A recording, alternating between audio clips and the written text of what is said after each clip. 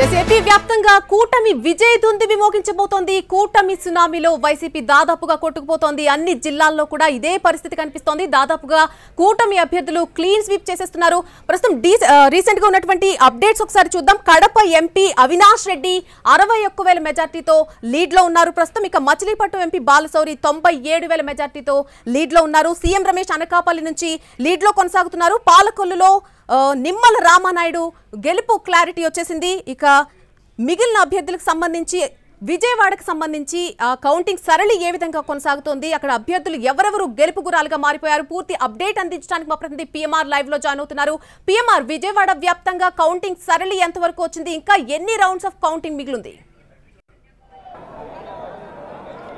Right right మళ్ళీ ఏకపక్షంగా ఏ ఎన్నికలకు సంబంధించిన ఫలితాలు వస్తున్నాయి. అక్కడ ఇక్కడ ఆ ప్రాంతం ఈ ప్రాంతం అని లేకుండా ఆ జిల్లా ఈ జిల్లా అని లేకుండా సహజంగా ఎన్నికలకు ముందు ఫలితాలు రాకముందు వరకు కూడా రాయలసీమ ప్రాంతంలో తెలుగుదేశం పార్టీకి తక్కువ సీట్లు వస్తాయి. ఉత్తరాంధ్రలో ఎక్కువ రావచ్చు కొన్ని కొన్ని జిల్లాల్లో ఎక్కువ రావచ్చు కొన్ని జిల్లాల్లో తక్కువ రావచ్చు అన్న చర్చ ఏదైతే జరిగిందో దాన్ని పూర్తిగా తునాతునకలు చేస్తున్న విధంగా ప్రస్తుతం ఫలితాలు వస్తున్నాయి. పూర్తిగా తెలుగుదేశం పార్టీకి అనుకూలంగా పూర్తి స్థాయిలో కూటమి తెలుగుదేశం పార్టీ కావచ్చు జనసేన కావచ్చు బీజేపీ కావచ్చు ఈ కూటమి తరఫున అభ్యర్థులు ఎవరైతే ఉన్నారో వాళ్ళందరూ కూడా one side victory landslide victory అని చెప్పి చెప్పిన చెప్పాల్సిన పరిస్థితి చాలా స్పష్టంగా కనిపిస్తోంది. అటు రాయలసీమకు సంబంధించిన జిల్లాలో కూడా మెజారిటీలు అత్యధికంగా తెలుగుదేశం పార్టీకి పెద్ద ఎత్తున వచ్చిన నేపథ్యంలో తెలుగుదేశం పార్టీ కార్యాలయాల్లో కూడా పెద్ద ఎత్తున సంబరాలు జరుగుతున్న పరిస్థితి కనిపిస్తుంది. సీఎం జగన్మోహన్ రెడ్డి ఒకరిద్దరు మంత్రులు మినహా పూర్తి స్థాయిలో తెలుగుదేశం పార్టీ హవాకు అలాగే ఎన్డీఏ కూటమి పార్టీలకు సంబంధించిన హవాకు పూర్తిగా తుడిచిపెట్టుకుపోయిన పరిస్థితి కనిపిస్తుంది. నూట యాభై ఒక్క స్థానాలను గత ఎన్నికల్లో నూట యాభై ఒక్క స్థానాలను దక్కించుకున్న తెలుగుదేశం వైసీపీ ఈసారి పూర్తిగా వైసీపీకి ఈసారి ప్రతిపక్ష హోదా కూడా రాని పరిస్థితి నెలకొనడంతో తెలుగుదేశం పార్టీ వర్గాల్లో పెద్ద ఎత్తున హర్షాతిరేకాలు వ్యక్తమవుతున్నాయి. మరొకవైపు ఇక్కడ ఏపీకి సంబంధించిన ఫలితాలకు సంబంధించి కావచ్చు ఇక్కడ గెలుపులకు సంబంధించి కావచ్చు తెలుగుదేశం పార్టీ అధినేత మోడీకి ప్రధాని మోడీకి ఫోన్ చేశారు.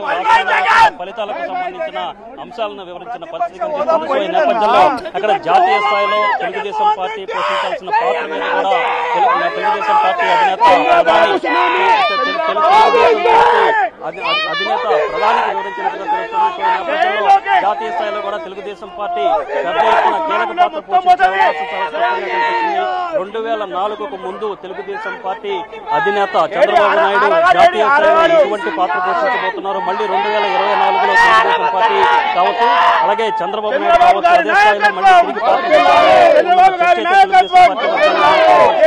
ఓవరాల్గా తెలుగుదేశం పార్టీ అంటే చరిత్ర సృష్టించిందని చెప్పుకోవచ్చు. రెండు పంతొమ్మిది వందల తొంభై ఎటువంటి ఫలితాలు వచ్చాయో దానికి మించిన స్థాయిలో ఏపీలో తెలుగుదేశం పార్టీ దానికి మించిన స్థాయిలో ఈ మించిన స్థాయిలో ఫలితాలు రాబట్టిందన్న చర్చ అయితే ప్రస్తుతం జరుగుతున్న పెద్ద ఎత్తున జరుగుతున్న నేపథ్యంలో తెలుగుదేశం పార్టీ కార్యకర్తలు సంబరాలు చేసుకుంటున్న పరిస్థితి ఈ నెల తొమ్మిదో తేదీన ప్రమాణ స్వీకారం చేసుకునే ప్రమాణ స్వీకారం చేసుకునే అవకాశం చాలా స్పష్టంగా ప్రమాణ స్వీకారం చేయబోతున్నట్లుగా మనకు తెలుస్తుంది. అమరావతి ప్రాంతంలో ఎక్కడైతే అమరావతికి సంబంధించి అమరావతి శంకుస్థాపన అమరావతి నగరానికి సంబంధించిన శంకుస్థాపన జరిగిందో అక్కడ ప్రమాణ స్వీకారం చేసే అవకాశం ఉన్నట్టుగా చర్చ జరుగుతుంది. మరొక వైపు తెలుగుదేశం పార్టీ అలాగే జనసేన పార్టీకి సంబంధించిన అధినేత పవన్ కళ్యాణ్ అలాగే బీజేపీకి సంబంధించిన అధినేతలతో కూడా చంద్రబాబు నాయుడు భేటీ అయ్యే అవకాశం వాళ్ళ సాయంత్రం లేదా రేపు భేటీ అయ్యే అవకాశం కనిపిస్తుంది. చాలా స్పష్టంగా తెలుగుదేశం పార్టీ కావచ్చు కూటమి కూటమి కూటమి స్థానాలు కూటమి అభ్యర్థులు పూర్తి స్థాయిలో స్థానాలను కైవసం చేసుకుంటున్న పరిస్థితి కనిపిస్తున్న నేపథ్యంలో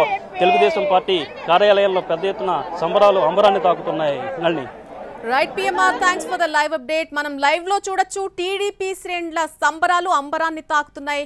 Uh, వాళ్ళు ఫుల్ సెలబ్రేషన్ మూడ్లోకి వెళ్ళిపోయినటువంటి దృశ్యాలు మనం చూస్తున్నాం. ఎక్కడా కూడా uh, ఎక్కడ చూసినా సరే ఆనందంతో ప్రతి ఒక్కరి ఫేస్ కూడా ఒక బీమింగ్ కనిపిస్తూ ఉంది. చాలా సంతోషం వ్యక్తం చేస్తూ ఉన్నారు. వారి గెలుపుకు సంబంధించి అత్యధికంగా ఏపీ అసెంబ్లీ uh, ఎన్నికల్లో చూసినట్టయితే దేశంలోనే అత్యధిక శాతం ఓటింగ్ నమోదైంది ఏపీ అసెంబ్లీ ఎన్నికల్లో. ఈ మొత్తం ఓట్ల శాతాన్ని ఒకసారి పరిశీలించినట్టయితే టీడీపీకి నలభై ఐదు పాయింట్ ఆరు ఆరు శాతం ఓట్లను ప్రజలు పోల్చేయడం పోల్ చేయడం జరిగింది. ఇక బీజేపీకి రెండు పాయింట్ ఆరు ఏడు శాతం ఓట్లను ఇచ్చారు. అలాగే వైసీపీకి ముప్పై తొమ్మిది పాయింట్ నాలుగు మూడు శాతం ఓట్లు పడ్డాయి. జనసేనకు ఎనిమిది పాయింట్ ఆరు మూడు శాతం ఓట్లు పడ్డాయి. ఇక్కడ ప్రత్యేకంగా మనం పవన్ కళ్యాణ్ గురించి కూడా మాట్లాడుకోవాల్సిన అవసరం ఉంటుంది. పవన్ కళ్యాణ్ గెలుపులో ఒక కీలక పాత్ర పోషించారు అని చెప్పుకోవాల్సిందే. అన్ని జిల్లాల్లో ఉత్తరాంధ్ర ఉభయ గోదావరి కృష్ణా గుంటూరు నెల్లూరు ప్రకాశం అన్ని జిల్లాల్లో కూడా విజయ దొంతిని మోగిస్తున్నారు. కూటమి అభ్యర్థులంతా కూడా. మరొక వైపు నవరత్నాల పేరుతో సంక్షేమ పథకాలు అందించినా కూడా వైసీపీకి ఎక్కడా కూడా ఓట్లు పడని పరిస్థితి ప్రస్తుతం మనకు కనిపిస్తోంది. తాము చేసినటువంటి సంక్షేమమే ఖచ్చితంగా జగన్ను మళ్ళీ సీఎం చేస్తుంది అంటూ కూడా చాలా గట్టిగా నమ్మింది వైసీపీ పార్టీ. అయితే ఆ పరిస్థితి ఎక్కడా కూడా ప్రస్తుతం మనకు కనిపించడం లేదు. ఈ లీడింగ్ నెంబర్స్ని చూస్తుంటే సంక్షేమం కాదు అభివృద్ధి ముఖ్యమని ప్రజలంతా కూడా భావించినట్టుగా మనం నమ్మాల్సిందే. కేవలం సంక్షేమం బేసిస్ మీద వెళ్తే ఓట్లు పడవు అనేది మనకు ఇక్కడ క్లియర్గా అర్థమవుతున్నటువంటి విషయం.